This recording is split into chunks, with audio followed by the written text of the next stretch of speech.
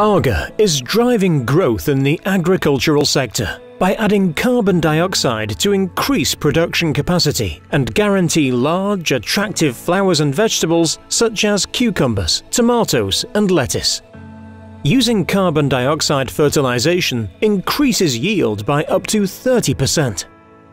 Ambient air has a carbon dioxide concentration of 400 ppm. This is sufficient for growing tomatoes and cucumbers, but as the plants, often grown in greenhouses, start to consume the carbon dioxide in the air at first sunlight, if the concentration of carbon dioxide is allowed to fall, growth is slowed down or halted. CO2 in greenhouses is very important because we get a better crop, a higher yield and better quality of the tomatoes. Additional carbon dioxide needs to be added to increase efficiency and to have the optimal yield. By keeping the carbon dioxide concentration in the greenhouse atmosphere in a range of 600 to 1000 ppm, the best growth rate can be expected.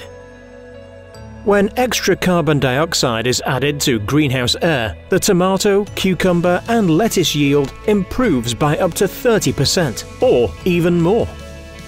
Cut flowers and potted plants also benefit from carbon dioxide fertilization. Carbon dioxide not only increases yield but also produces an earlier harvest and improves plants' resistance to disease and pests.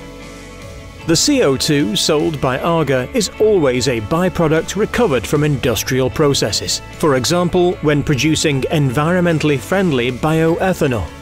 Using CO2 from AGA in greenhouses has no negative effect on greenhouse gas emissions. On the contrary, it is part of a green and closed-circuit system. At AGA, safety is top priority, always. Handling gas is our core competence.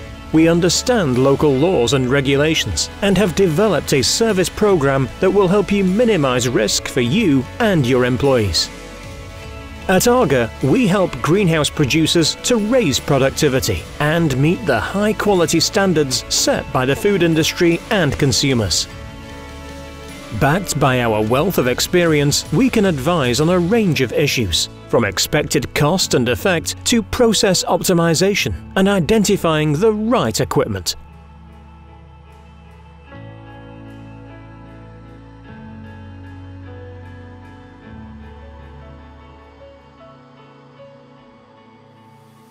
AGA.